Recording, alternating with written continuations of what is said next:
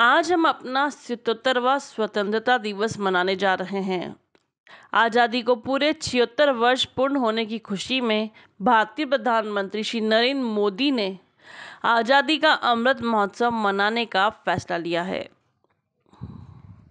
सत्तरवीं शताब्दी की शुरुआत में अंग्रेज़ भारत आए और उन्होंने धीरे धीरे संपूर्ण भारत पर अपना अधिकार जमा लिया।